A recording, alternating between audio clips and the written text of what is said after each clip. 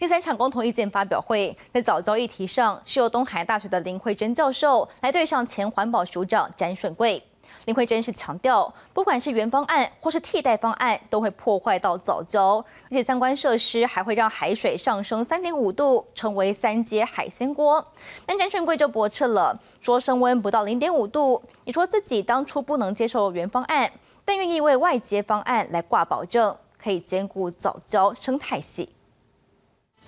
第三场公投意见发表会登场，真爱早教案由东海大学教授林慧珍担任正方代表，迎战反方代表前环保署长詹顺贵。林慧珍强调，不论是原方案或是替代方案，都会破坏早教。坦言外推方案就是急救章止痛药的提案，相关设施的建制将造成封闭环境，海水上升三点五度，让当地成为三阶海鲜锅。不论原方案或者是外推方案，未来把它围在里面的时候，都会造成降温上面的困难。它形同是一个三阶海鲜锅的状况吧？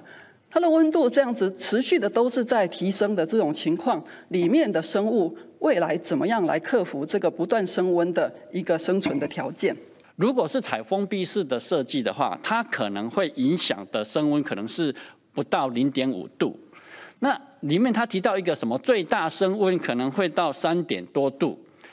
对不起，那是因为台电的大潭大潭电厂所排出来的这个温排水导致的升温，不是因为三阶新建。所而造成的。面对公投史上第一个保护环境的提案，环保运动出身的詹顺贵强调，现阶段最主要是减煤，燃煤发电产生的空气污染远高于天然气，天然气上不来，煤就降不下去。从开场到结尾都强调自己当初也不能接受外接迁移的原方案，但可以接受外推方案。外推方案是可以兼顾这些多元的环保价值，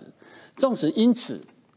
被。以前的这些朋友骂我背叛保育价值、环保价值，我都在所不惜。这样子的沉箱总共会超过三百零三个来到这个地方，然后丢丢下去。它下面所压到的这些栖地底部还有生物，其实都没有一个可以幸免。